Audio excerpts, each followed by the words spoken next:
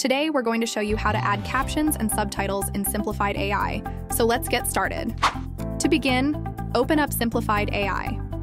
If you haven't already, click the link in the description below to open it instantly. Once you're there, log into your existing account, or if you prefer, you can sign in with Google. Once you're logged in, you'll see the dashboard. In the top right corner of your screen, you'll find a menu icon with dots. Click on that and select Video from the drop-down menu.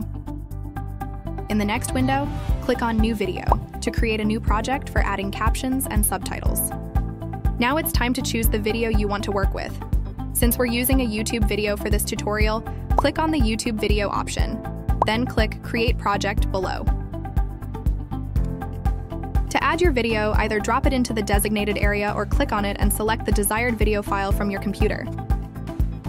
While the video uploads, it's important to wait until the progress is completed to ensure smooth editing without any lag or glitches. Once the upload is finished, navigate to the Subtitles tab, located in the bottom left corner of your screen.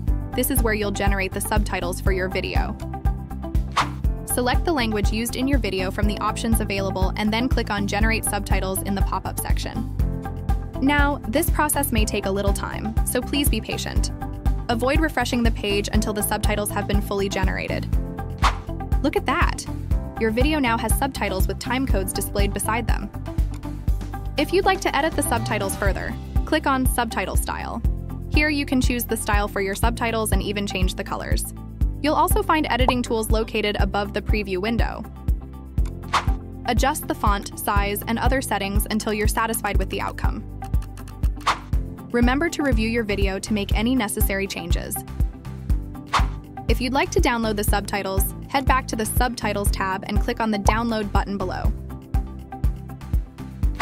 To share your video via email, simply click the Share button in the top right corner of your screen. Finally, to download your video, click the Export button also located in the top right corner of your screen. Then select Download and save it to your computer.